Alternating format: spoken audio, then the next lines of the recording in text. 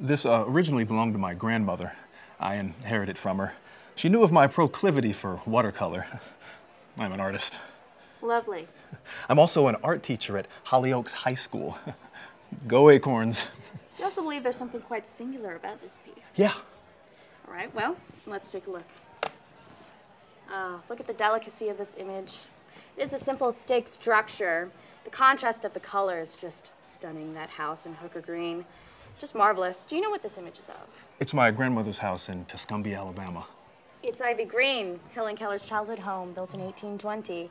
The warm tone perfectly captures the familial love as Helen Keller guides Moonfellow's hand. Uh, moonwalk who?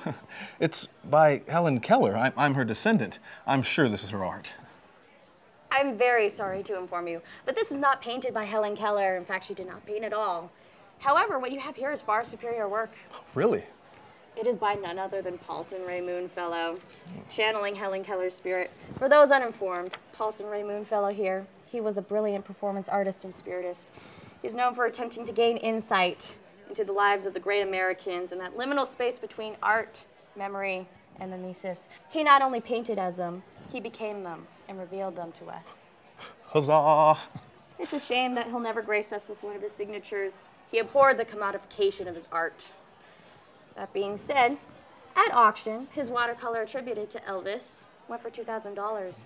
His Marilyn Monroe piece went for four. I'd say this Helen Keller piece goes for five to six. Grand?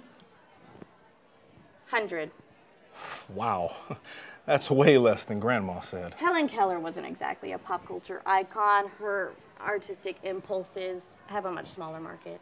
So, thank you for sharing your treasure with us.